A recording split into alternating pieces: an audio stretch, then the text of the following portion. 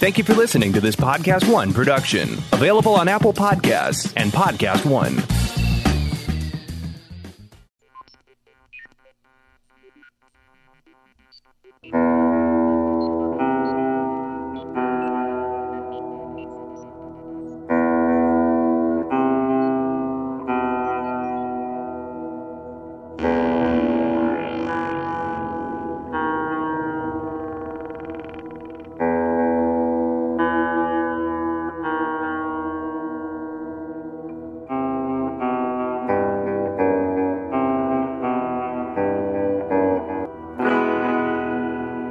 Welcome into the Sunday edition of the best in paranormal talk radio. This is Beyond the Darkness. I'm Tim Dennis in for Dave Schrader, who has the day off.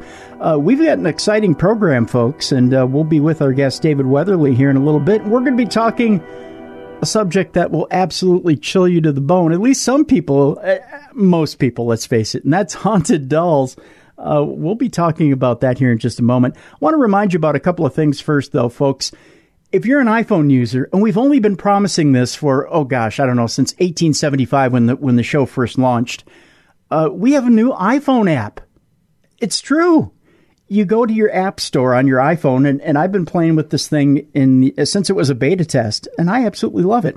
Um, we have a new Darkness Radio iPhone app. Just go to the App Store, uh, look for Darkness Radio, and you may say, Tim, why is it under Darkness Radio if the name of the show is Beyond the Darkness? Well, if you're new to the show, that was the original name of the show, Darkness Radio, of course. And if you've ever looked at the full title of the name of the show, it's Darkness Radio Presents Beyond the Darkness. So just go to the App Store, look up Darkness Radio. You'll see uh, the little picture of Scully. Download the app, and you don't just get Beyond the Darkness on there. Oh, no, no, folks. You get links to True Crime Tuesday. You get links to Midnight in the Desert. You get links to the Dark Zone. You get links to all the projects that we're doing. You even get links to darknessradio.com and so much more. It's all right there on the app. It's amazing. You've got all the all the stuff that we're involved with is all linked up to Darkness Radio's app. It's amazing. It's great stuff. I'm having fun playing with the app. You should too if you're an iPhone user. So again, go to the App Store, download the Darkness Radio app by just searching Darkness Radio in the App Store. It'll come up right there. There's Scully. You just download the app. It's real simple. And there's lots of stuff to look up and play with there on the Darkness Radio app. It'll change your life. Well, I don't know about changing your life, but it's a good thing. So look up that as well. While you're there at the Darkness Radio app, go to darknessradio.com. Oh, by the way, on the Darkness Radio app, you can look at events. And, and while you're there, look up the events tab and see where we're going to be throughout the country. One of the places we're going to be in uh, the next couple of weeks here is Michigan Paracon. We're going to be there. Get your tickets for that. That's coming up here um, in uh, late August. And uh, Dave and I will be there. We'll actually reunite with Mally. It'll be like a full Darkness Radio reunion. Uh, get your tickets for that coming up in, uh, I think it's October. October. Listen to me. August 20th through the 24th, I want to say. Uh, and then coming up in October. That's what I meant to say. Chicago Ghost Conference is coming up. And the Jericho Cruise is coming up January 20th through the 24th. Uh, we'll be setting sail on the high seas from Miami to the Bahamas. And a special announcement with that came out this past weekend. Less than 50 cabins are available. It's 96% sold out. You're losing time on this deal, folks. Don't sleep on this uh, as Chris has, has added three new attractions on the AEW side. Jon Moxley has added uh, Luchasaurus, and uh, I believe Penelope Ford was the other one that was added. He's adding, uh, actually, you know what? Now, this is only the rumor, but uh, on Instagram, if you look at Gabriel Iglesias' Instagram, there's a picture of him and Chris and he said that he was added to the Jericho Cruise. Now, it's not official, it's not on the JerichoCruise.com site. But if you look at the Instagram, he says he's added. I don't know. I'm not saying anything. There's nothing official out there. I'm just starting rumors and stuff. But if you want to guarantee yourself a, a cabin and a spot, go to JerichoCruise.com, get on board, join your buddies Dave and Tim on the Jericho Cruise coming up in January to go from Miami to the Bahamas for five days. it's going to be a great trip. Last time was a blast. It was a vacation of a lifetime. If you want to go on a vacation of a lifetime again, you've got comedy, you've got rock and roll, you've got podcasts, you've got paranormal, and you've got wrestling. It's all perfect. It's a perfect vacation, and it's all in the high seas. It's all in January. Check it out, jerichocruise.com. All right. With that being said, let's get into the spooky and the paranormal. And uh, I'm not talking about my love life. Uh, let's talk about uh, haunted dolls. And uh, let's talk with our guest uh, this uh, this evening. Our guest is author and paranormal specialist David Weatherly, and um, the book is Eerie Companions: A History of Haunted Dolls. Let's welcome to the program David Weatherly. Hi, David. How are you? Hey Tim, how you doing, man? Doing good. Uh, the book is available now at Amazon.com, and is it available elsewhere as well? Uh, Amazon.com is the place to get it. And of course, unless you catch me in an event or a conference or something, uh, that's the only place at the moment.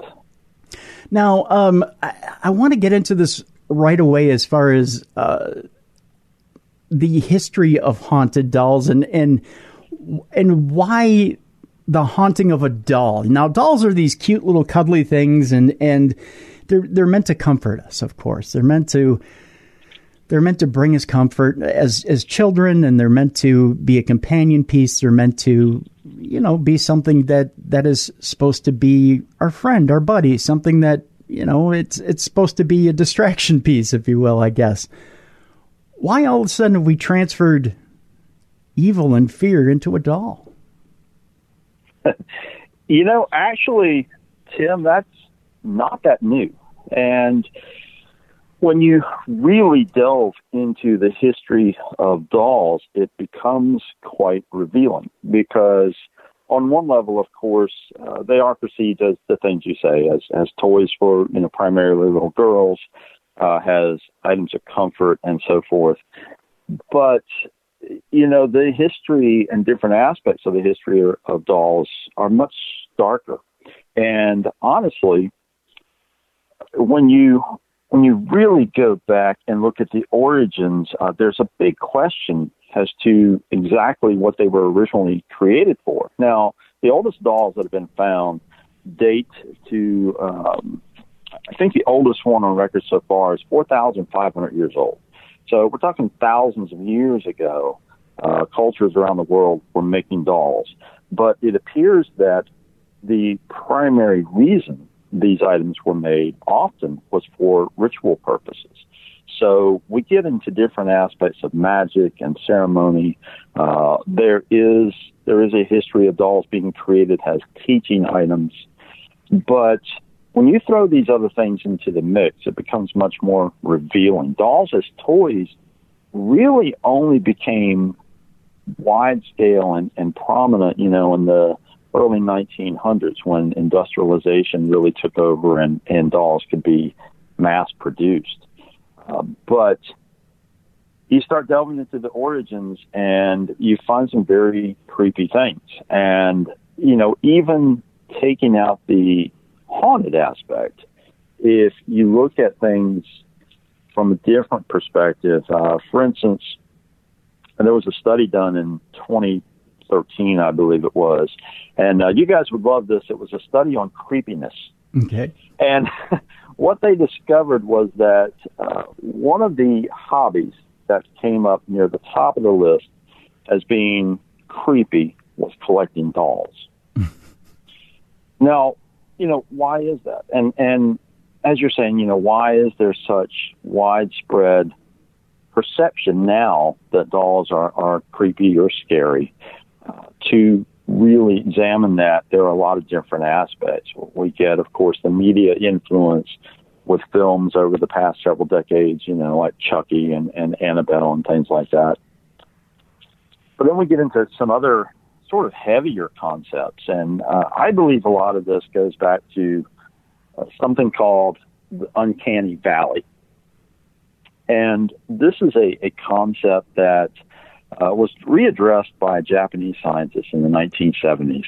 Uh, try not to get too technical or, or heavy on, with this on, on you guys, okay. but it, it's pretty fascinating to delve into because Uh, this gentleman in the 1970s delved into this concept, and he did so because of uh, his study and the progress being made with robots.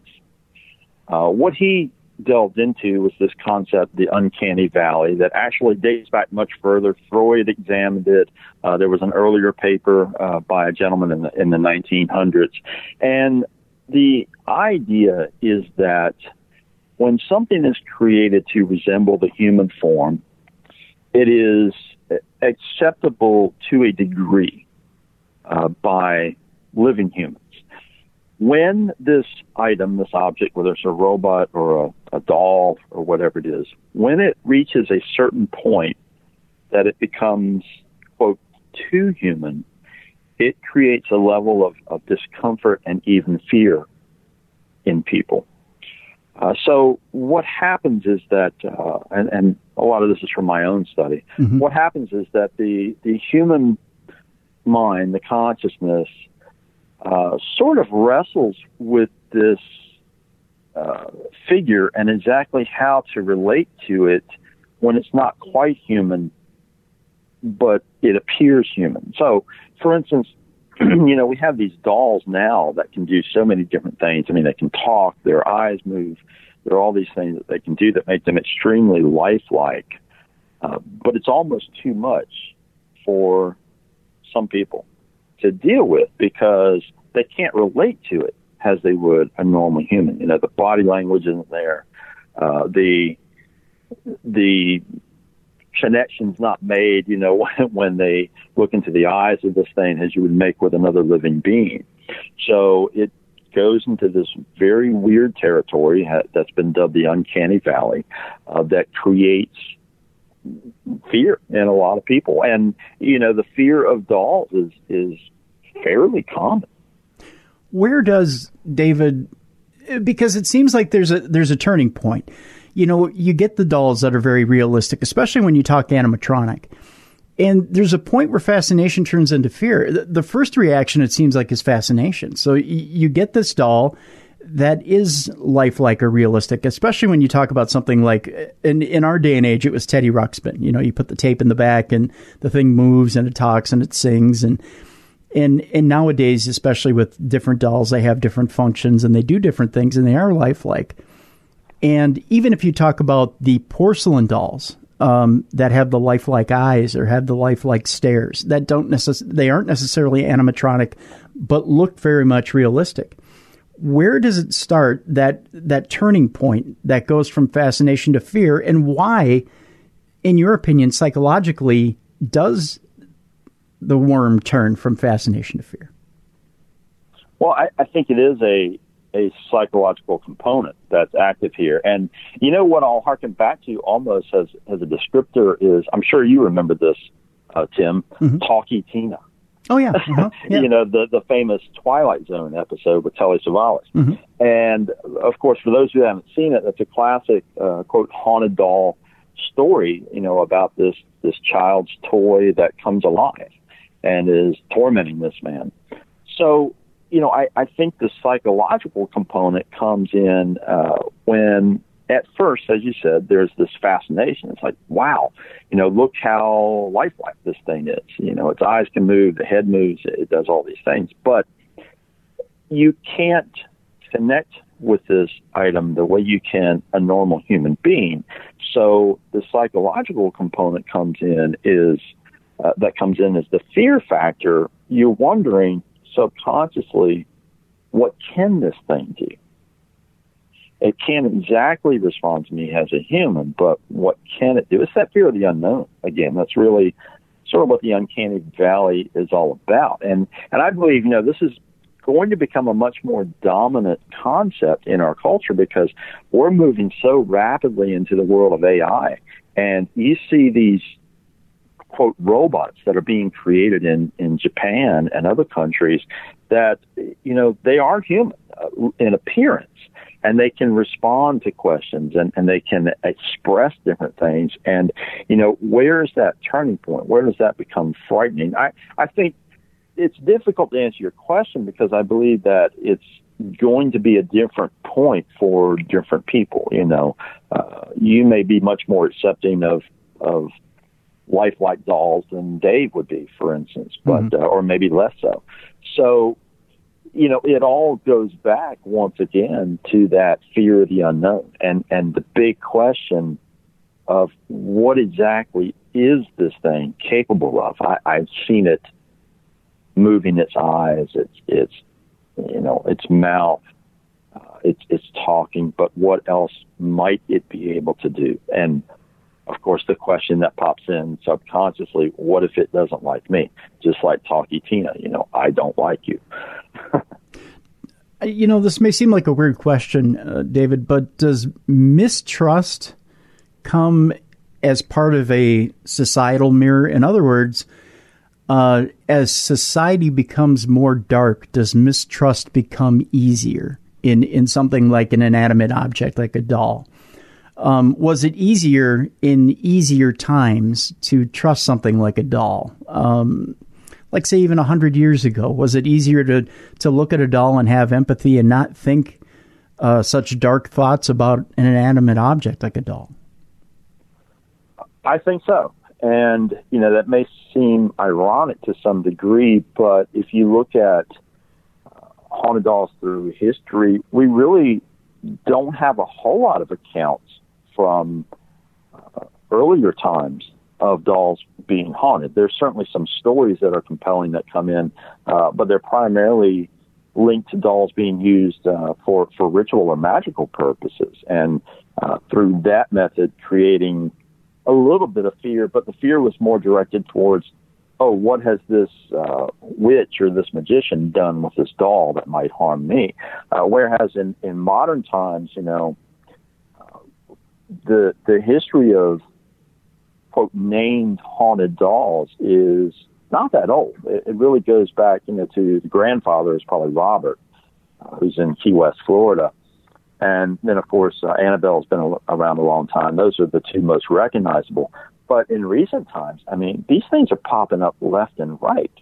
And part of that is the dominance of the paranormal within pop culture. You know, everybody's interested and everybody's fascinated, and, and these these haunted dolls are turning up. You know, uh, every, every week it seems like I'm getting you know messages about you know whoever the haunted doll, you know, this one and that one, and they all have names, of course.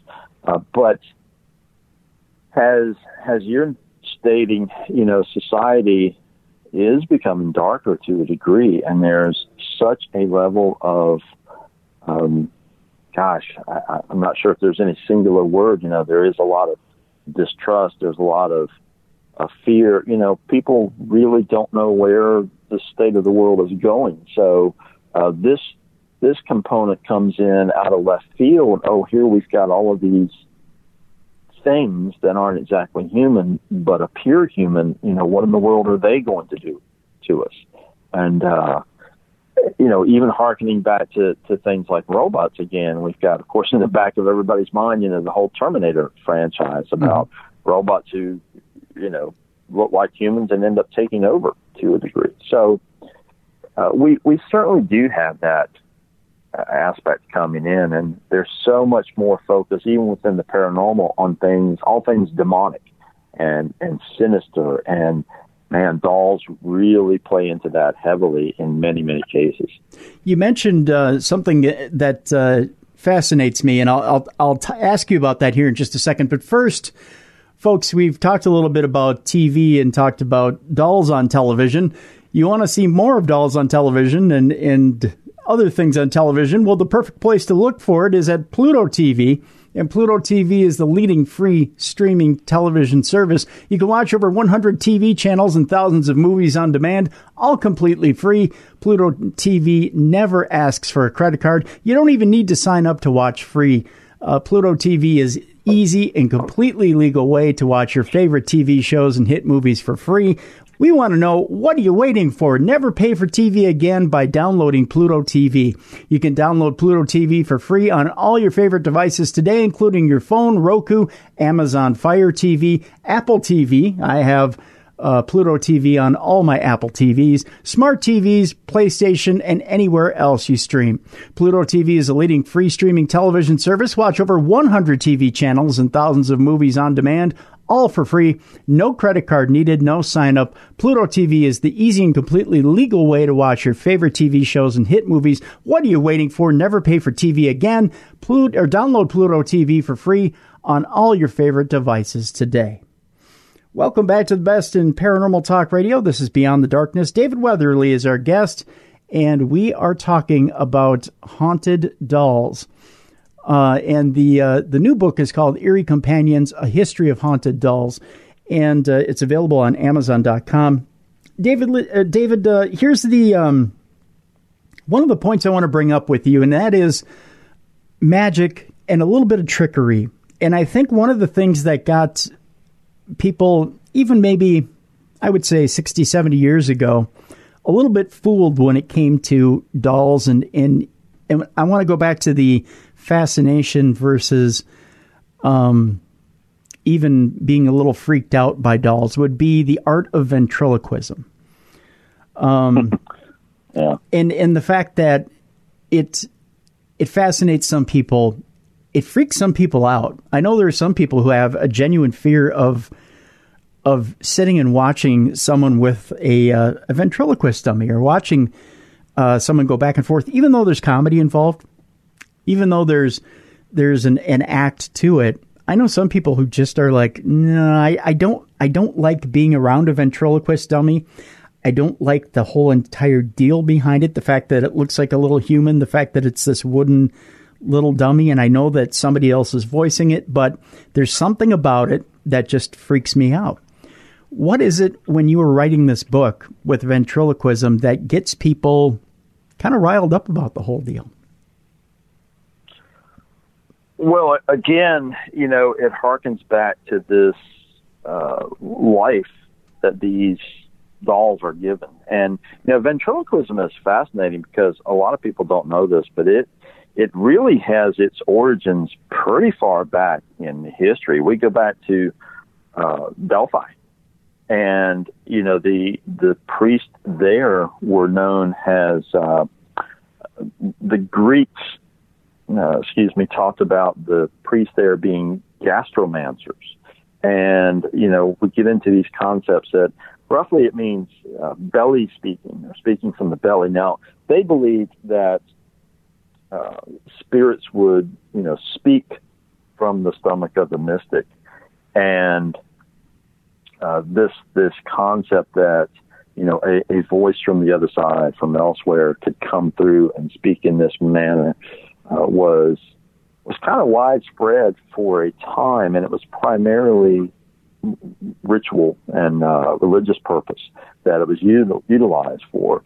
Uh, so you know, we're talking about a very long period of time. It, it was considered a way for the dead to come through and speak through the oracle.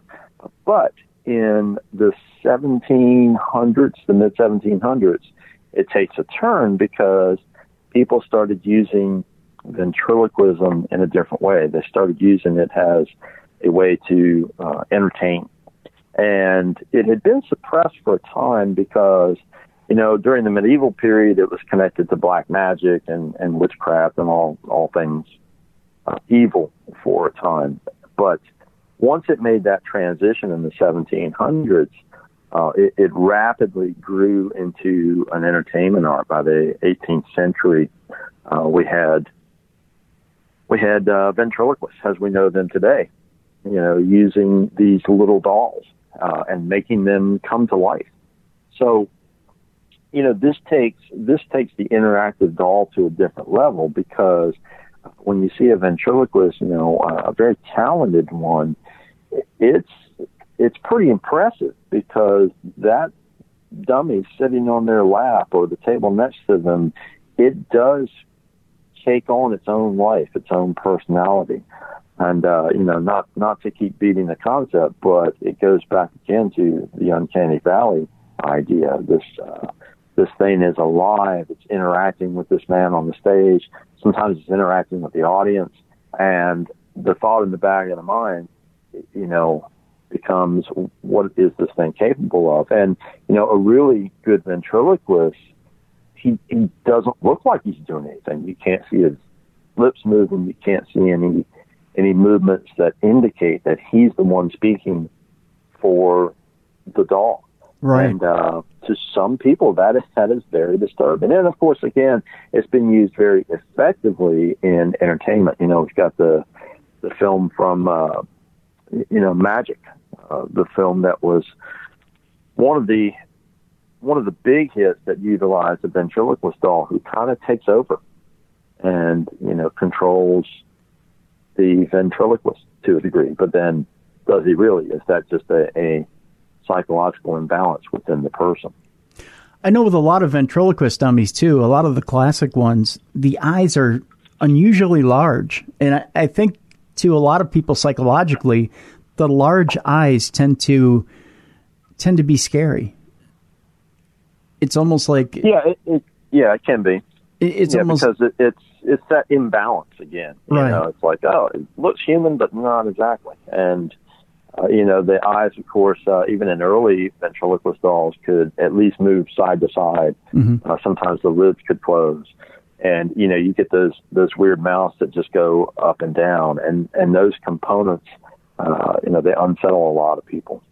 Yeah, and and there were things, uh, there were aspects of the the dummies that uh, even though some of them looked wooden or very much wooden, they very much came to life or had, like you said, had the aspects that were very much alive, and it was that combination of of almost dead appearance yet very much alive that that I think freaked a lot of people out. Um, You you want something creepy on this topic? I, I'll give you a great Sure. story actually. Now that we're on ventriloquist dolls, so there's one that I cover in the book, and uh, it's actually owned by a, a good friend of mine. Uh, this ventriloquist doll is currently known as Mr. Creepy. okay, Um, Mr. Creepy is um, he's a, a vintage ventriloquist doll. Now, here's the backstory with this thing.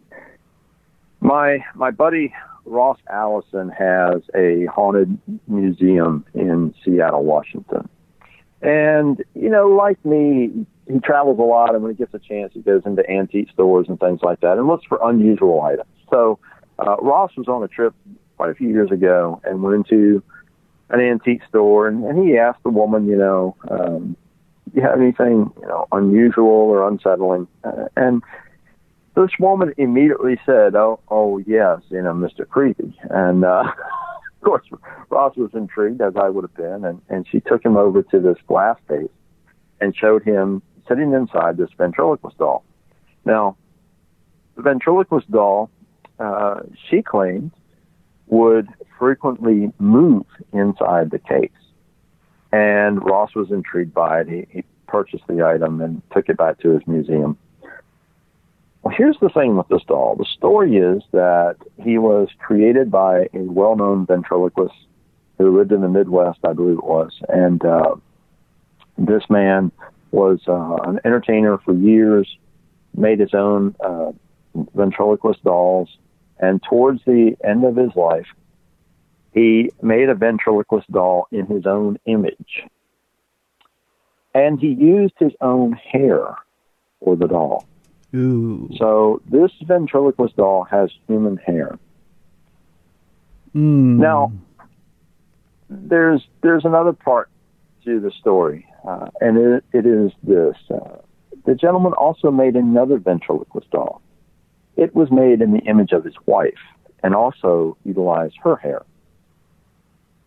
The two dolls were together in this antique store for a long time.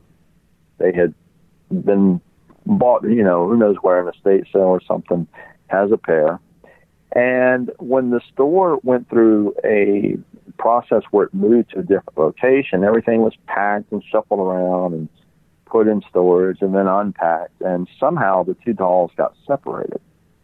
So the belief and the story is that Mr. Creepy is very unsettled because he's looking for his wife. And there have been incidents uh, that, you know, Ross has caught this thing having moved. It's, it's in a closed glass case, but there have been times when, you know, he's come in and the doll is, is turned looking in another direction. And there've been a few strange photographs caught of Mr. Creepy. You know, one that had a, a very strange reflection that looks, um, you know, a, a bit human. Hmm. And all the indications are that this this doll has a certain amount of residual energy from the ventriloquist who created it, and uh, maybe it's because his hair is on it, or maybe it's just because he put so much energy into the creation of the thing, but again, it appears to be very unsettled because its companion is gone.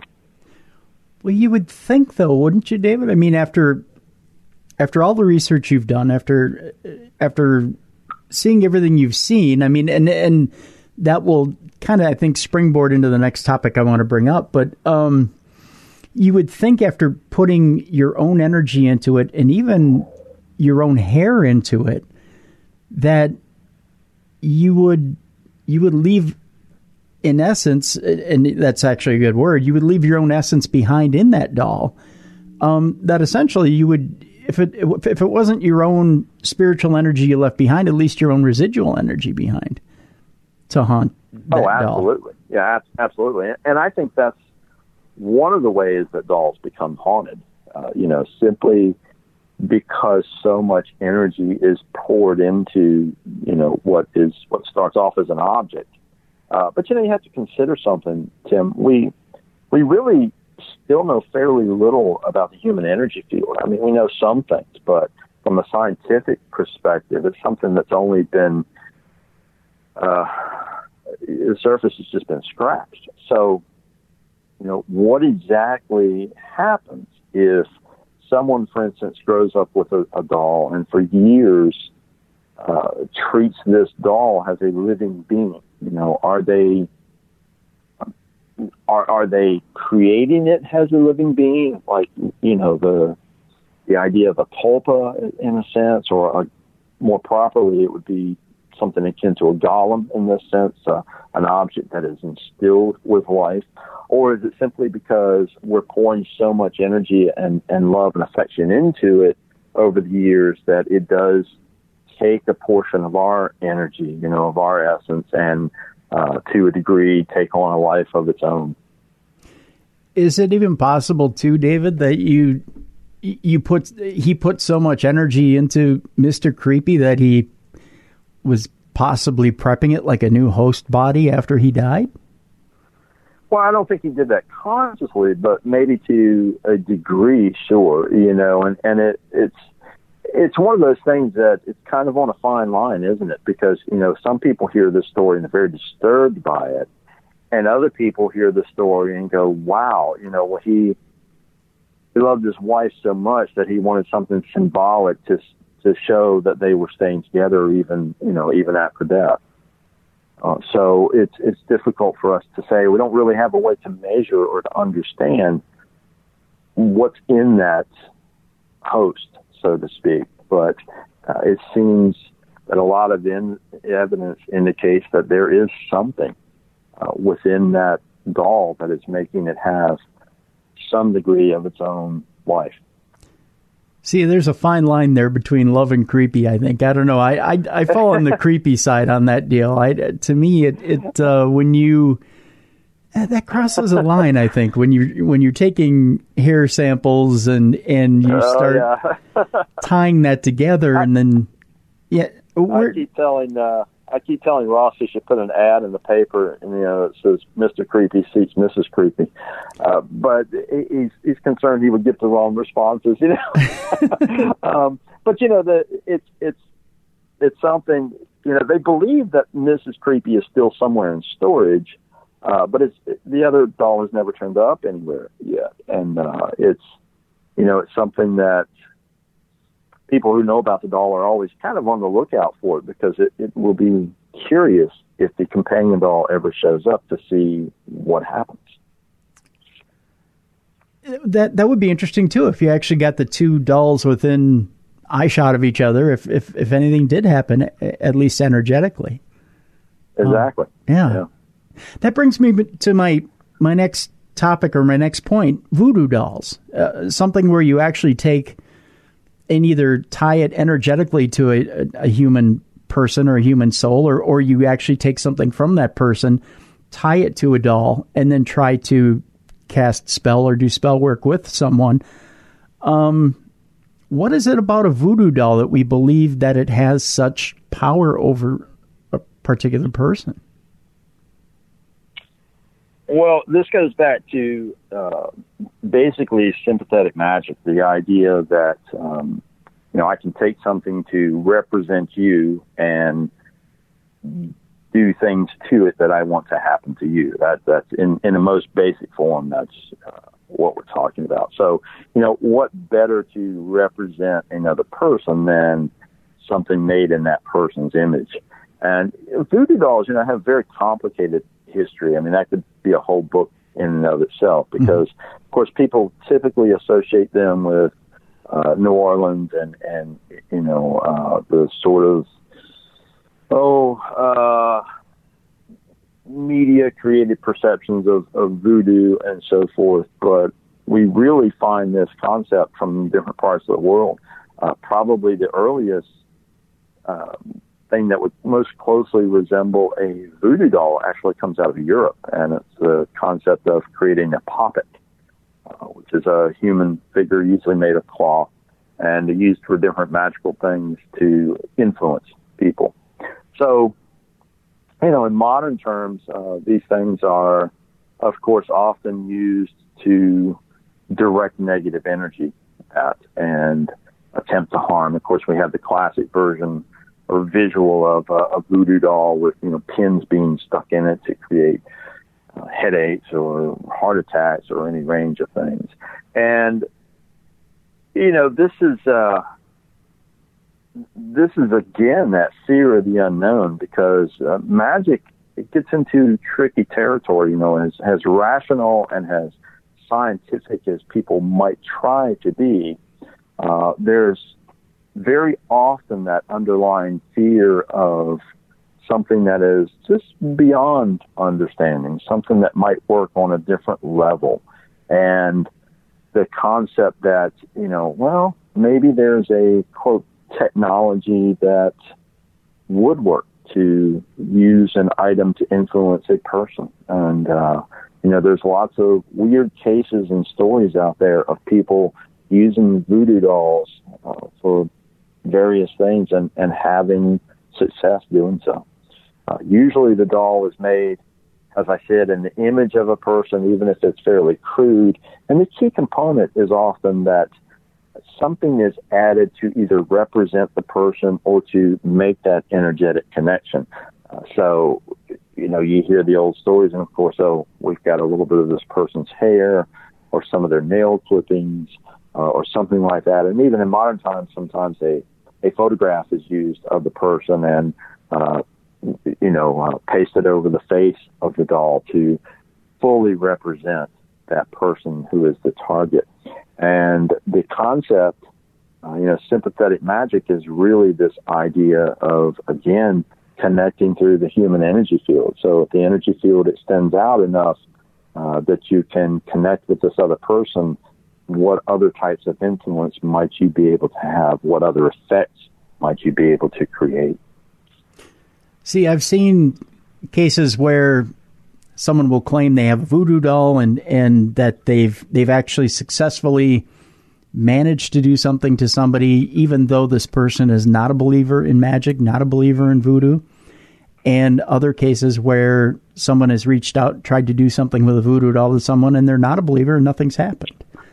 Um, right. And, you know, we get into a lot of questions about that because, of course, uh, some people would scoff at it and say, well, you know, it's, it's BS. You can't do something with a doll. But then you do have these cases that create questions, don't they? Where, mm-hmm. wow, this person did this and, and there was an effect. So I think it, it harkens back again to what I was saying about the human energy field. You know, uh, what exactly are we capable of as human beings and, and what exactly are we capable of if we are able to utilize our own energy to a greater degree, whether it's for the positive or the negative. And really that's that's sort of what we're getting into when we talk about these things. Strange stuff indeed. Well, we're going to take a break here. When we come back, we're going to talk about uh, actual haunted baby dolls and, and actual dolls itself, and some of the more famous dolls that are out there. And people that want to get into actually trading these dolls and, and picking them up for themselves and wanting to own a doll. Why would you actually want to go out onto sites like eBay and buy these dolls and bring them into your home and uh, have them for yourself? We're uh, we're talking with David Weatherly, and uh, his book is out there right now, folks. You can get it on Amazon.com. It's called Eerie Companions: A History of Haunted Dolls. And again, uh, during the break, uh, head out to Amazon.com and pick up a copy for yourself. When we come back, we'll talk more with David Weatherly about haunted dolls. It's coming up next on the best in paranormal talk radio. This is Beyond the Darkness. Launchpad DM is a totally free platform and service for anyone who wants to podcast, offering unlimited hosting and access to a dashboard with all of your show's analytics. You own and control everything, including subscribers. And it's a great discovery tool to help people find your podcast. You may even get invited to join the official Podcast One roster with even more perks like access to producers, marketers, sales teams, and more. Sign up today at launchpaddm.com. 60 seconds. That's exactly how long this commercial lasts. You want to know what else you can do in about a minute? You can get an offer for your car with TrueCar. That's right. In the amount of time it takes to floss your teeth, pet your dog, or do a few sit ups, or just listen to my dreamy, creamy, dulcet tones, you can also get a true cash offer. But best of all, you can do it from your smartphone or your home. You just go to TrueCar, simply enter your license plate number, and watch how your car's details pop up. Just answer a few questions and you'll get an accurate true cash offer from a local TrueCar certified dealer. It's that easy. After that, you can bring in your car and they'll check it out with you together. You can ask questions and get all the answers you need so there's no surprises. Then, just simply leave with your check or trade in your car for a new ride. So when you're ready to experience a better way to sell or trade in your car, check out TrueCar today.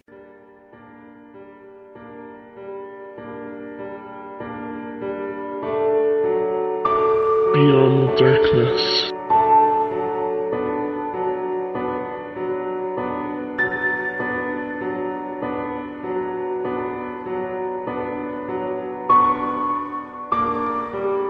Welcome back to the best in paranormal talk radio. This is Beyond the Darkness. I'm Tim Dennis in for Dave Schrader. Our guest is David Weatherly, and we are talking haunted dolls. The book is Eerie Companions, a history of haunted dolls. It's available right now on Amazon.com. Uh, David, before the break, we were talking about the uh, the current crop of uh, haunted dolls. You know, we when we talk haunted dolls, I guess the image that pops up in people's minds are are the current day crop of, of haunted dolls. I guess you would think of either a porcelain doll or you would think of um, like a baby doll that you would see in in uh, in stores or, or or something to that effect. Or even when you think of uh, the classic Annabelle that Lorraine Warren had. Uh, you think of the Raggedy Ann doll. Um, but when you were doing research for this book, there's there's actually a chapter on, on famous haunted dolls. What what haunted famous haunted dolls did you uh, do the research on, or which ones did you come across? Oh gosh, you know there are so many out there at this point, and um, you know I've uh, most of the well-known or, or sort of the the first tier, I guess you would say, of of haunted dolls I have seen in person. Uh, so you know, the as I referenced earlier, the grandfather is is you know hands down Robert, the haunted doll. Now refresh our memory, Florida. Refresh our memory on Robert, if you would. So Robert, you know, the story of Robert is. Uh, said to have been the inspiration for Chucky and the Chucky franchise.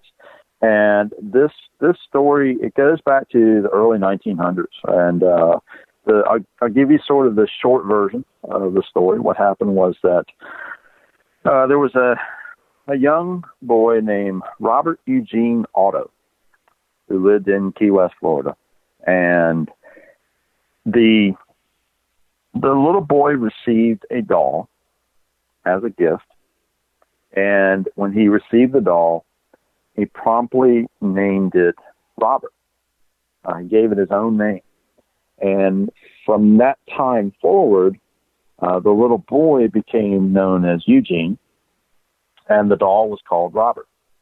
Now, Robert, for those of you who haven't seen him, I, I encourage you to go on and just you know Google pictures of, of Robert the doll. Uh, he's uh, interesting looking doll. It, it's um, he's in a sailor uniform and just has a very unusual uh, face and and um, he you know he's a one of a kind. Uh, they eventually found out that he came from a display in a window in Germany, I believe it was, uh, and was brought over by Robert's uh, grandfather as a gift. But the story Robert the doll is that once he was installed in the Otto household, strange things started happening. Uh, dishes would break, furniture would get turned over, all these different things would happen. every time something happened, Eugene would cry out, Robert did it. Blame the doll for all this mischief. Now, people would say, oh, okay, you know, it's a kid acting up and he's trying to blame his doll or whatever. But as the years went on, other strange things happened because people would hear movement coming out of the room that Robert was in when no human was in there. Uh, this this doll became so well known that uh, eventually uh, they had furniture built for Robert. Oh, and I should back up. Actually, what happened was that uh, Eugene, of course, he he grew up as all of us do, and when he became an adult, he moved away, got married, but he returned to Key West with his wife, and moved back into the Otto household, and took up his relationship with Robert again. So he gave Robert his own room in the attic of the house uh, Eugene's wife was was none too happy with this weird connection that this man had with this doll. Uh, but reports would come that uh, you know people would hear something or someone running around in the attic when no one was up there.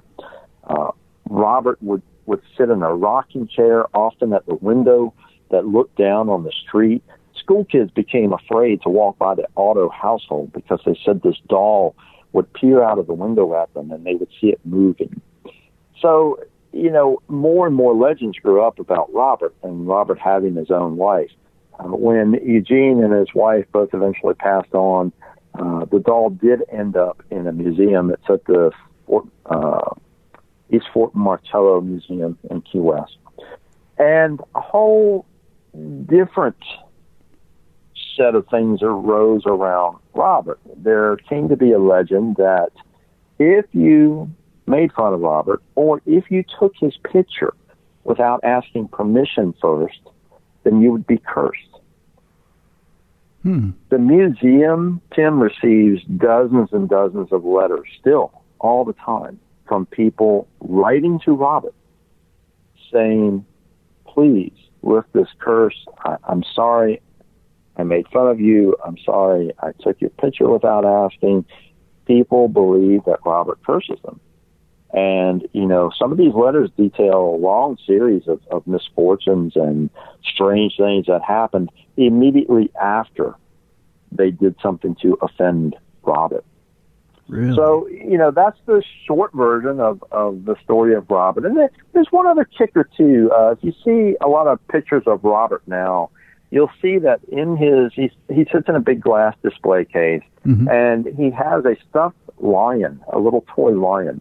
Now, the story about that is that one day when the museum opened, uh, Robert always sat in the case by himself, but one day when an attendant came in and opened the museum, they found that one of the other display cases elsewhere in the museum was open. It was a display of, of uh, different toys, stuffed animals, and an item was missing.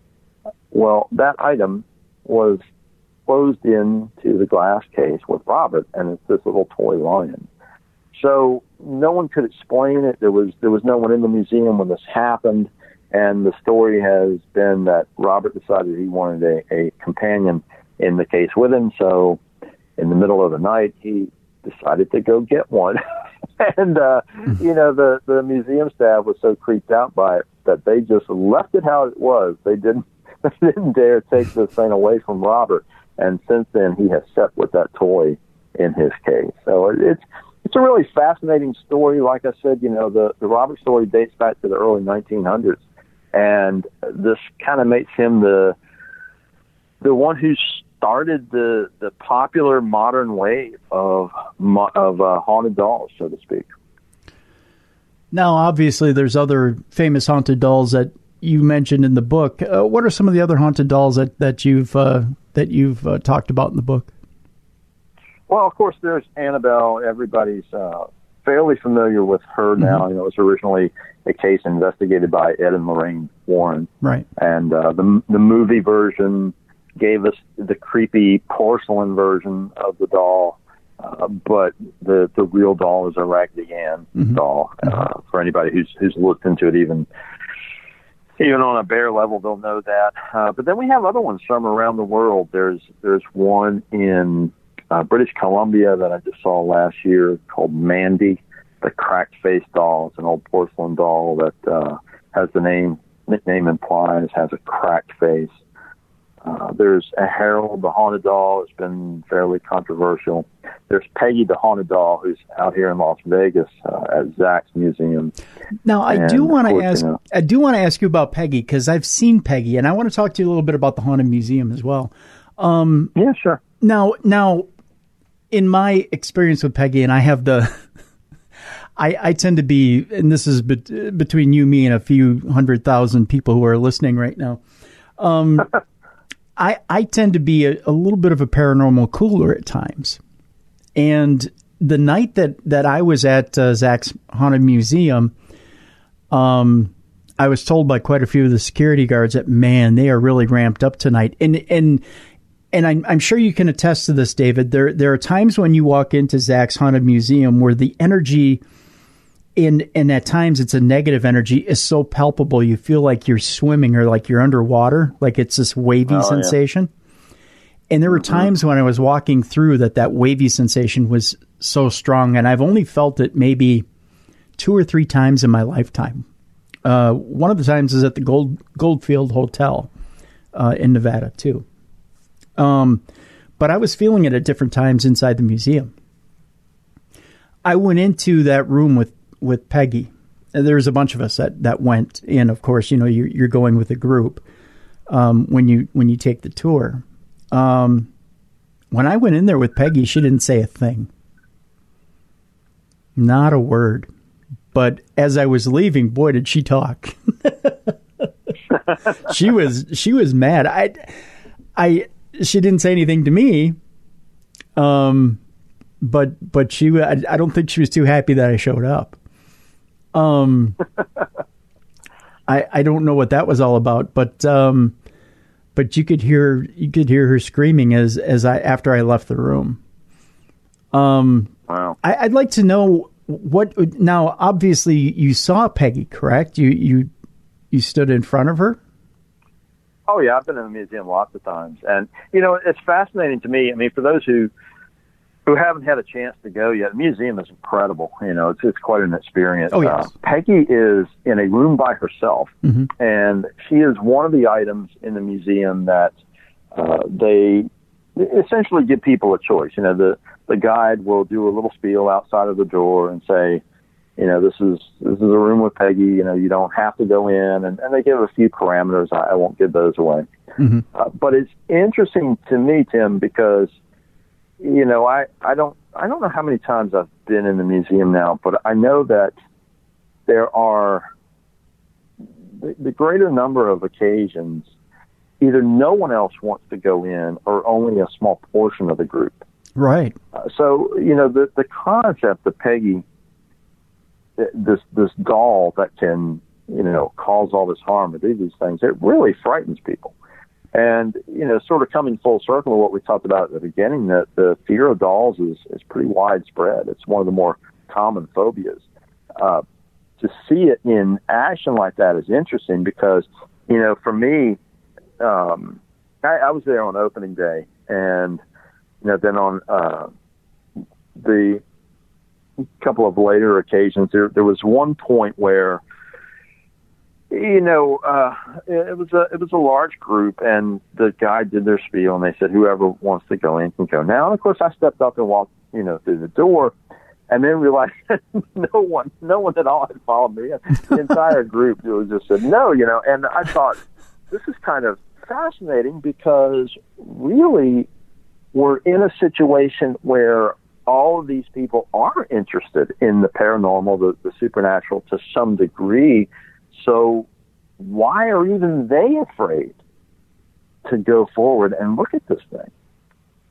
And you know, it, it's it's kind of fascinating on a lot of different levels. It, it's that fear of dolls again, but then you know, I think the fear of the unknown uh, once again because we don't know a whole lot of the history of Peggy. You know, she was uh, the doll that created quite a sensation on the internet because she was originally owned by a, a woman in the UK named Jane Harris. And uh, Peggy is the doll that purportedly caused uh, misfortunes and even a heart attack by being viewed online on video. Mm-hmm. So there's quite a reputation attached to this doll. But beyond that, we don't know a whole lot really about its history or, or, or anything else. So it's it's uh, interesting, as I said, that you know so many people who are fascinated by such strange things still won't walk in that room. You know why, David? I I'll tell you this much, and and I'm, it's not that I'm I'm shilling for for Zak's museum, um, but honestly, and and and I'm I'm a pretty hardcore skeptic. I, I don't, you know, I'll tell you, I'll tell you like it is with a lot of different places that I've been. But from the minute you walk into that place, the energy is very palpable, and it doesn't matter how. I mean, you could be dead as a stone psychic, or or not have very many feelings when it comes to, um, feeling the energy of a room. But when you walk into that place, you feel the energy there. Um, well, it, it's sort of the perfect storm, though, isn't it? It because, is, yeah. You know, here here we have a situation where uh, one, the building was known to have been haunted. Mm-hmm. You know, prior to that's one of the reasons, obviously, that Zak purchased it. Mm-hmm. Uh, two, you know, he has he's done a heck of a job of creating an atmosphere in there. I mean, I know he, he invested a lot of time and money getting the atmosphere correct, you know, the way he wanted it.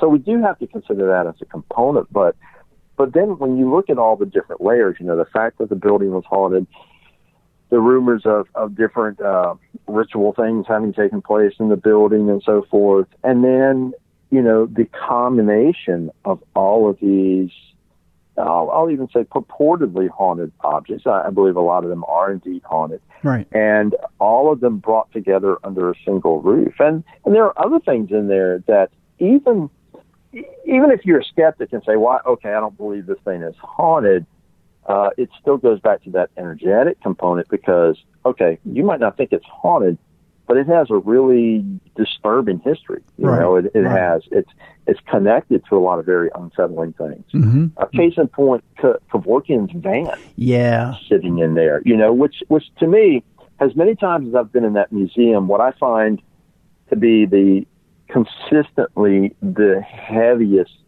energy in that building is the room where that van is.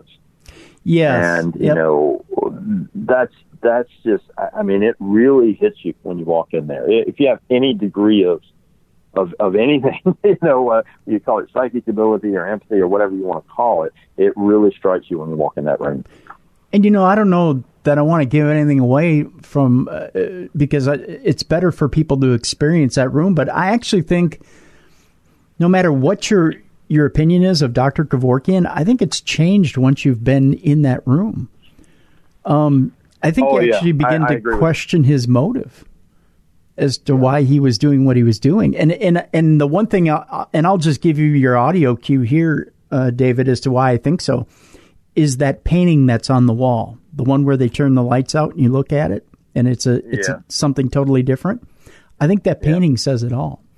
I think there's actually um, something very morbid to his his um, his motivation. I'll just put it that Absolutely. way. Yeah yeah, I, no, I absolutely agree with you. But uh, but you know, we, we digress quite a bit from dolls, but oh, still, sure, the sure. the point is is that you know there's so much, and of course there is a whole uh, range of dolls in the museum. You know, there's there's one entire uh, cove, I guess you would call it, that, that's filled with haunted dolls. Mhm. There's a room of uh, marionettes, of puppets, Yep.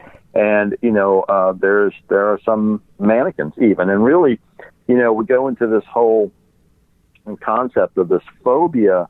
Uh, for a lot of people, it extends to not just dolls, but also into other things that are human-like but don't have a, a life of their own as we understand it. So, you know, people do have a fear of dolls, of ventriloquist dolls, of, of mannequins, you know, because we're into all of these lifelike things that we can't exactly connect with as we would a human or, or a living creature. I was going to say I, I wanted to bring it back to the conversation with Peggy, and you said that you went in and and nobody else kind of followed you, and, and you're kind of wondering, you know, you're at the doorstep, and and I wondered that too because uh, there was quite a few of my group that didn't go in, and I kind of I kind of liken it to this: you go to you go to Disneyland, but you don't want to go see Mickey Mouse.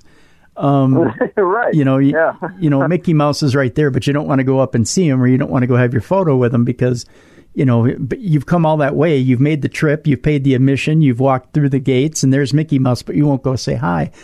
Um, but I, I think it's because, and and and follow me on this line of thought here, and it is because when you've walked into uh, specifically with with Zak's museum you've walked through, you've felt the energy, you've seen, you've you've you've felt the palpable energy of everything that up to that point with Peggy, and then you're being told, well, this doll Peggy has caused heart attacks. This doll Peggy has actually had a physical effect on somebody. Now, with that, you're you're being given that knowledge. You've felt this energy. By the way, you're taking a chance if you walk in that room. Do you want to do it? most people, in the interest of self preservation, would say no. But there's those those of us who have um, uh, have have done this paranormal thing for quite a while that go, well, you know what? Chances are I'm not going to drop dead of a heart attack. So yeah, let me in. You know? Yeah, and it's funny, you know, Tim. The the time the and, I, and more than once I've been in there and no one else would go in uh, from the tour. But it's funny because the first time I, I really noticed it, of course, I, I walked in, and it's not a huge room. You know, there's a, a fairly small area Mhm. for those who haven't been in. But you know, you walk in and there, there's an area for people to stand. You know, there's sort of a half wall, so you can't. You don't want people touching Peggy, obviously. But of course, I, I walked in and I moved all the way to the the end on the side there, thinking that people were going to file in behind me. Right. And of course, you know, a- after a moment, the door just shuts and there's nobody else in there. I think, oh, okay, well, that's all right. And uh, the funny thing was when I when I came back out, they're all sort of standing, you know, a few paces away, I guess, watching, and and they gave me such a strange look. You know, the group did, and they, and they sort of, as the tour moved on, people sort of stood away from me a little bit, thinking, you know, uh, I don't know if this guy brought anything out of this room or not. but again, it's probably the item in the museum that is, oh, how would we say it? Maybe the most uh, interactive or or that would cause the most direct connection. I, I mean, I know the other thing that a lot of people are afraid of are the is the Dybbuk box. Yes. Uh, but yeah. then the Dybbuk box, of course, is is sealed. You know, it's in this this glass case, and it's sort of sitting in the middle of the room, and it, it's it, it really is untouchable. I mean, you can see it, but you're looking at it. There are barriers, you know, that psychological aspect. Oh, it's fine. It's sealed in that case behind, you know, all of these things that keep it protect, you know, keep me protected from it. Right. So I haven't noticed any. I've only seen one or two people not want to go in there uh, Right. because of its reputation. right. But there's everything else in the museum. There's a certain level of detachment, isn't there? Oh, we can look at this. It's creepy and it, it's it's weird and it's disturbing, but you know, there it is, and I'm here. I'm fine.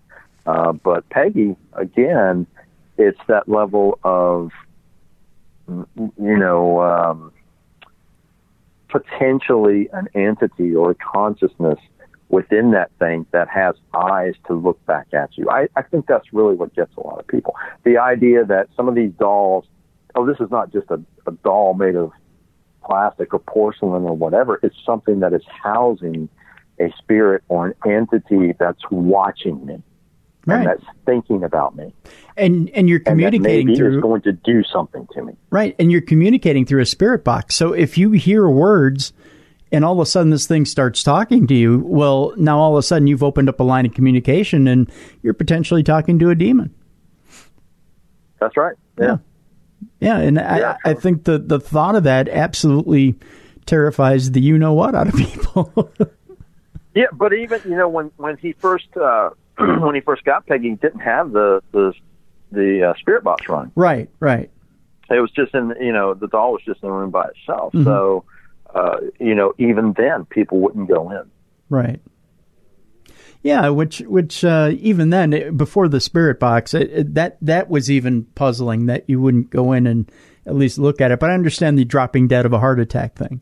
You know, right? It's yeah. the whole you know, do I take the chance knowing that someone has, you know, has had physical circumstances having having uh, confronted this doll. Um, exactly but but knowing that you know there's a difference between um, getting some of the information and having all of the information. You know, you get some of the information if you're uh, if you've just taken the tour and you know a little bit about the paranormal. If you're someone who's informed on the paranormal, you know that that those cases are few and far between chances are you can probably go in and see Peggy and nothing's going to happen. Yeah, sure. Yeah. So I mean that so that you know being informed you could probably go in and and and chances are you're not going to walk out of there either A possessed or B with a major medical malady. but you do right. you do sign the waiver just in case. That's exactly, yeah. Exactly. Um, so uh, with that being said, there are people who want to go out and try and purchase one of these haunted dolls for their own, which, you know, brings up an interesting point here, uh, David. You know, when we were when we were doing darkness events, uh, we would run across some of these haunted dolls. In fact, um, Mark and Debbie Constantino uh, w- would be on our events, and we would get a haunted doll, and they would do an EVP session with it. And now we would we would auction it. We were even guilty of it. We would auction off some of these these dolls for charity. We would raise uh, money for charity, and we would say, "Now, mm-hmm. Here's the deal." We are auctioning this off to you. It is your responsibility once we give this to you. Um, right. But you know, Mark and Debbie have conducted a, a an EVP session uh, for you, here is the disc of the EVP session uh, with the doll. And, um, you know, congratulations, you've just adopted a bouncing baby um, haunted doll. and uh, we had many people who wanted to give it back to us afterwards and said, I listened to the disc, I don't know that I want this doll. Well, you know, but but you donated it to charity, and they'd say, "Oh, I don't care, keep the money." Um, right. Just take the doll back. Uh, what is the mindset do you do you figure of why why would people want to go out onto eBay or would want to donate onto like say a charity auction and want to take one of these things home with them or want to bring it into their home in the first place? Why? Yeah, it's, you know that's that's tough to answer because there's not any one specific answer. I don't think, Tim. Uh, you know, we go back again to the fact that paranormal has kind of become a hip thing, you know, over the past, oh, I don't know, 10 years or, or maybe more.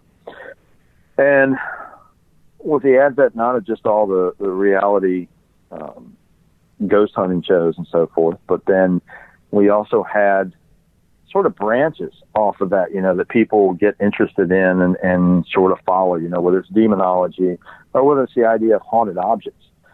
and hands down, when you look at collectors of haunted objects, uh, you know, you'll find that uh, the most common haunted object is a doll. Mm-hmm. It goes back uh, once more to that idea that something looks human, so potentially something has taken up residence in there.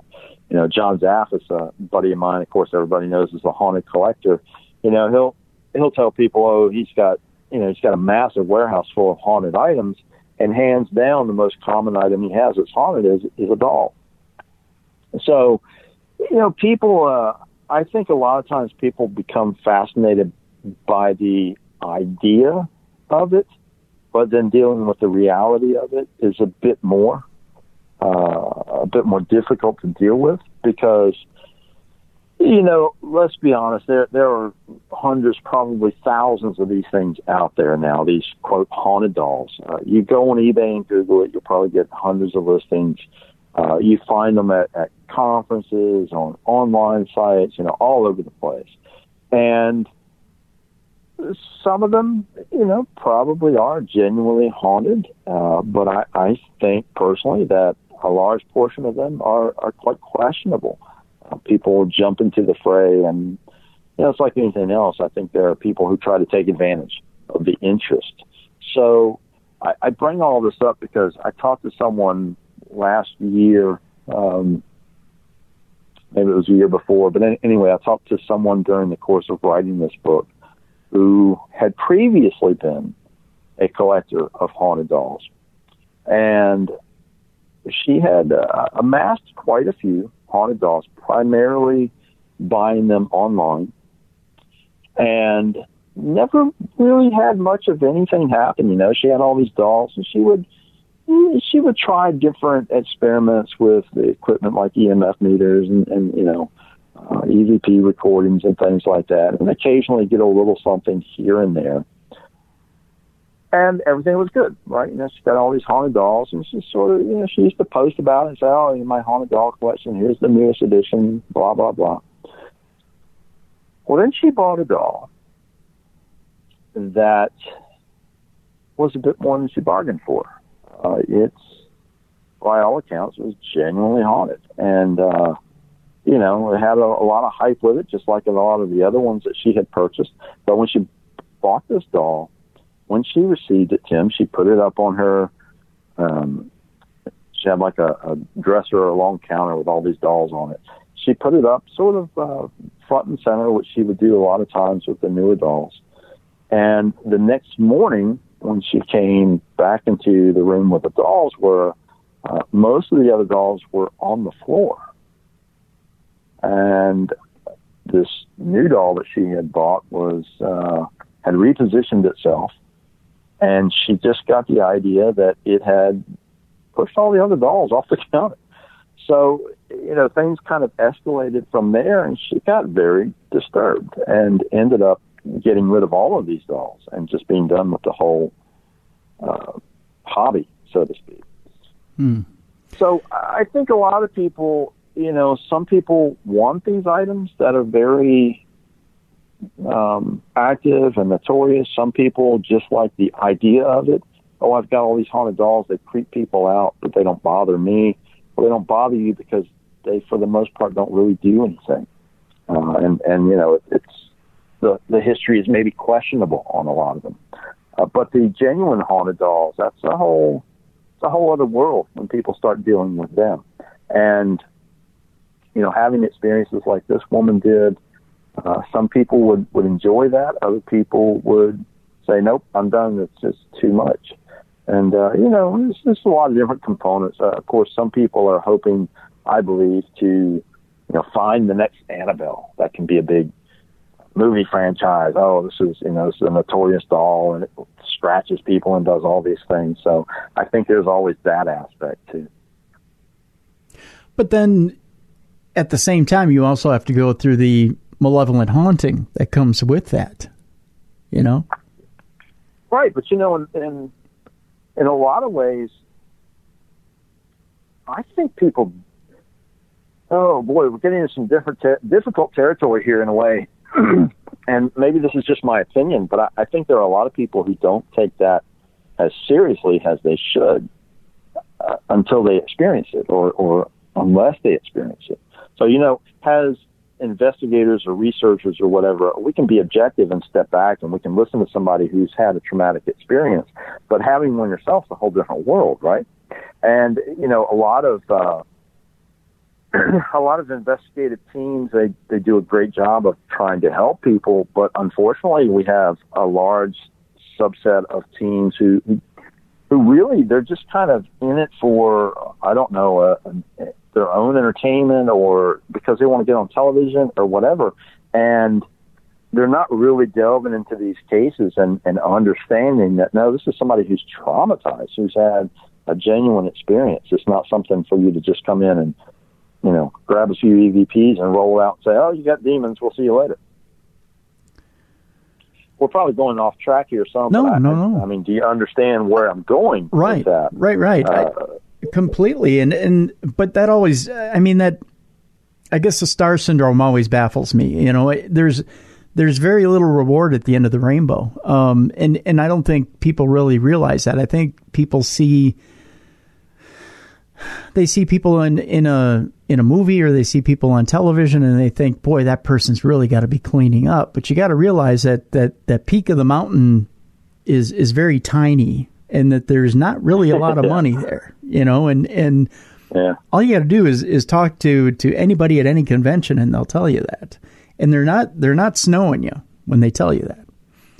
Yeah. Um, so there, there's not really a lot to be made there. There's, there's not the, the the risk is not worth the reward. Um, so it it it doesn't uh, and and plus you never know what the and I hate to I hate to sound like the heavy or being I'm being melodramatic here, but the the risk on your soul is not worth it. You know, um, right? I, I really do believe that, and, and you may be saying, well, you know, you never know what you're dipping into or whether there is any long lasting effect or anything like that, but you got to believe if you're playing with something otherworldly that there's there's some sort of a risk, even if you get rid of it. You know. Well, that, that's true, and it's you know the old adage that uh, you stare long enough into the void and, and things begin to stare back. Mm-hmm. And I, I think that is very true within the spectrums of the the paranormal, and I, I use the term paranormal in a, a very broad sense. You know, whether you're studying hauntings or cryptids or UFOs or the whole gamut, uh, you know, the longer you look at it, the more chance that things are going to look back at you and it's uh, it, it is something that carries a certain amount of risk at times. And you know, I think that those who are in this field uh, for the genuine reasons are, are because they're they're passionate about it. You know, it's it's not that they're looking to get rich because they know that you know that uh, those those millions of dollars aren't going to come, you know, flowing in when you write one book or you get on a television show or whatever. Uh, so you know those those aren't the reasons to pursue the field. That, just like anything else, we have a lot of people who are are doing this just because of that. You know, they've seen the whole glut of paranormal shows and they they want their 15 minutes of fame or whatever. Uh, but those are, are poor reasons to delve into something like this for sure. Very true. Uh, a quick question here for you, David. Um, I know in your time with talking with John, did he ever state to you why the reason for a spirit to haunt a doll? I know it seems like there's always a malevolent spirit behind a doll, but you know, is it because it's such an easy vessel for for someone to get attached to, for them to to sucker somebody into? And was there ever a case that you had heard of where a good spirit had haunted a doll? Uh, sure. Uh, well, you know, in, in Zaffis and I have had various conversations about haunted dolls, and of course, he uh, comes from a, a very, I guess you'd say, a more Christian uh, perspective in a sense, you know, or, or mm-hmm. Catholic, because he trained, of course, with Ed Warren initially, mm-hmm. and uh, you know, the he sort of adheres to the concept that a doll because it looks like a human, you know, can be instilled with something. Uh, my own research indicates that in a lot of cases that is that is indeed the case, and if we if we assume that there are these wandering malevolent spirits that want to take up residence in something, uh, what better form than something that at least resembles a human or a humanoid, uh, you know, in order to to sort of move in to someone's life. And that's one of the ways that a, a doll can be haunted is if something something decides to take up residence within the form. You know, of course, the other the other methods are that it may have been used in magic or ritual and instilled with a lot of energy, be that uh, positive or malevolent.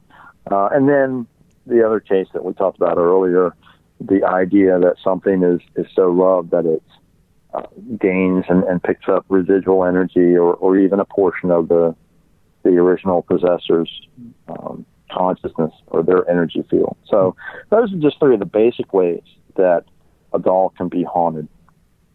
There are cases on occasion that uh, people have reported a doll that is uh, not malevolent, but does seem to have a life of its own, and, and it's just, um, you know, probably carrying the essence of the original owner. Hmm. Very interesting. So, with that being said, um, if someone does discover that they have just, and it may seem kind of a ridiculous thought to throw out there, that they do have a haunted doll. They've come across a doll. Let's say they picked one up at a at a yard sale. They've picked up a doll at a yard sale. They they think it's kind of cute. They pick it up, bring it home, and they've discovered it's it's haunted. How do you uh, how do you suggest they, they get rid of it if they want to get rid of it, so that something doesn't hang well, around their home. Right. so usually, oh, excuse me. So usually, the best route is going to be to contact someone who deals with haunted items. Uh, I, I'm happy to respond to people. They can contact me through my website. Uh, and then you have people, you know, like John Zaffis and uh, you know, Zak gets things sent to him at his museum. Uh, really, an item like that, it, it shouldn't just be casually thrown away. It certainly shouldn't be given away to someone else uh, who's unsuspecting. Uh, it shouldn't be, you know, just disposed of because, again, it might be picked up by someone else who doesn't know about the, the strange history. So I advise people to get it to someone who's used to dealing with haunted objects, and they'll take care of it. Okay. So it's not something that you just casually put in the goodwill bin and, and forget about it. no, I, I don't. I was I was told by someone. Uh, it's it's really funny that they had a haunted doll and you know purportedly did all these really malicious things and uh, you know they're telling me the story and I said well you know if you don't want it in your house you know bring it to me and and they said oh we already gave that away to the Goodwill. oh. you know, okay, oh boy, where's that going to end up? Uh, so yeah, who who knows? Is it if you fancy yourself a, a, a paranormal expert of sorts, or if you're in a paranormal team, or or uh, I hate to even say this because it may sound like I'm I'm uh, I'm kind of pardon my language, I'm shitting on people here, but if is it is it not recommended that you try and exorcise the doll yourself?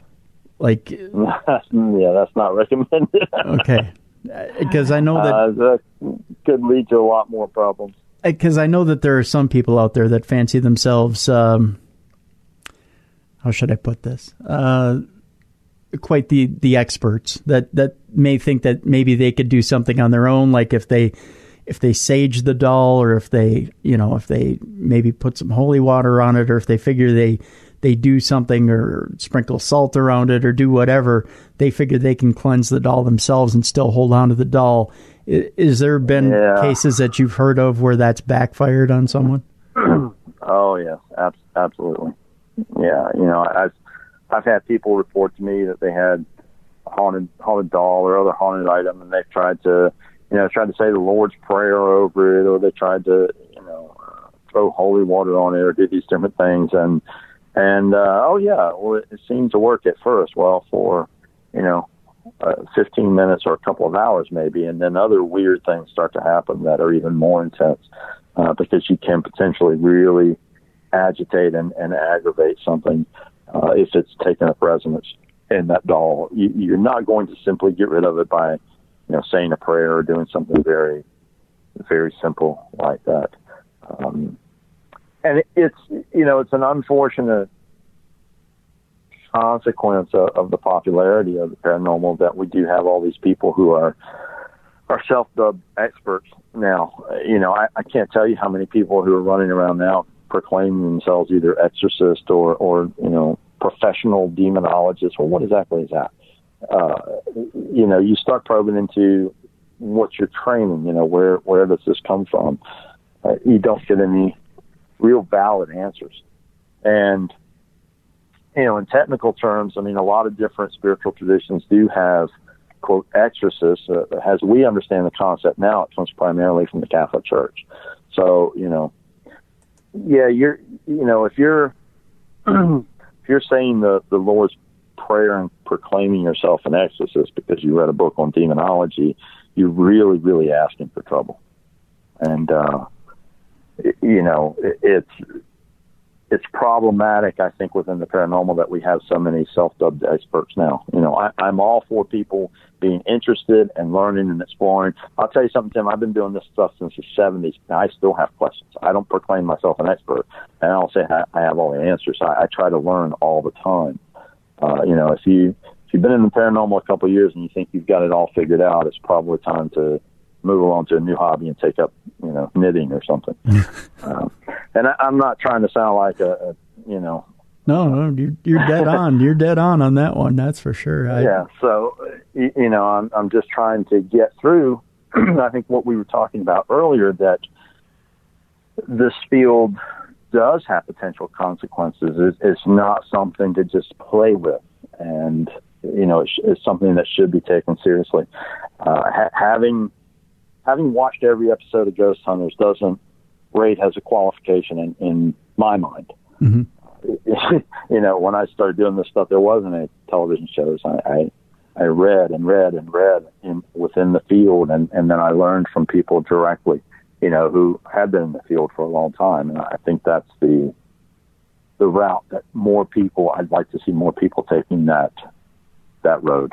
Absolutely, that's that's actually uh, the way to go. That that very much is the way to go. Uh, what do you recommend if if somebody wants to advance further in the field? What do you recommend they start out reading?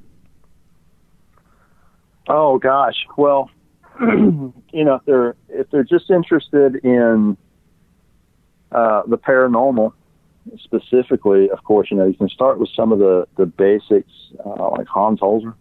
You know, I ironic that I say that, I guess, because I saw the news that Dave has the Holzer Files yep. uh, show, and and I'm not.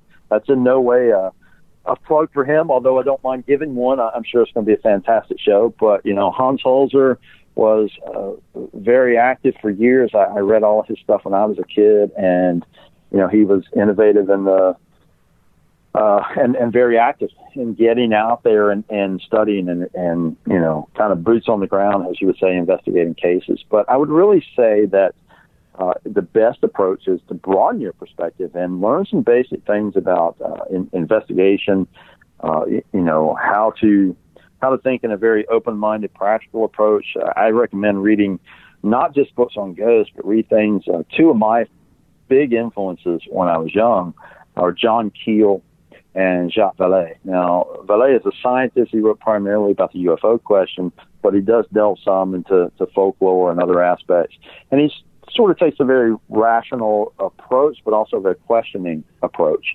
And then, of course, Keel, uh, you know, I, I knew John Keel. He was a um, I know Vallée too, but uh, Keel has passed on now, and he, his approach was more journalistic. You know, he was a reporter. He he got out there, he went to the locations, he talked to people, and you can gain a lot just by reading these guys and sort of seeing through their eyes how they're approaching these things. Mm-hmm. And it's important, I think, to take a very holistic perspective and say, let's look at this from as many angles as possible because that's the way that we really come up with answers and and draw some conclusions as to what's going on. Very cool. Very cool. Eerie Companions, A History of Haunted Dolls is the name of the book. David Weatherly is the author. It's available right now on Amazon.com. And of course, um, David, how do people get a hold of you on the internet? What's your website? EerieLights.com. That is E E R I E L I G H T S.com. And uh, it's a fairly new website. It's only been up a few months, but lots of stuff on there to explore. Of course, news on all the latest books and other projects, uh, events articles, videos, all kinds of good things. So check it out, eerielights.com. There's also a contact section on there. If you have some kind of uh, strange experience or question you want to ask me, just shoot me an email through that. Perfect. And we'll look forward to uh, picking up the book, Eerie Companions, A History of Haunted Dolls. Uh, check it out, folks. There's lots of good stuff in there. Again, we only scratched the surface today on Beyond the Darkness as to uh, what's in that book. And there's lots of good stuff in there. So be sure to check it out, Amazon.com and get a copy today. Dave will be back next weekend. More supernatural news there as well, as well as other great stuff next weekend on Beyond the Darkness. Be sure to pick up the Darkness Radio app if you're an iPhone user. It's in the App Store right now and it's absolutely free.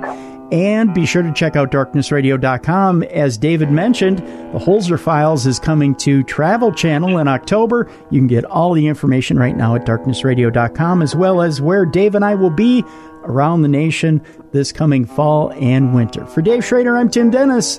This has been the best in paranormal talk radio. You've been listening to Beyond the Darkness. Have a great weekend, everybody.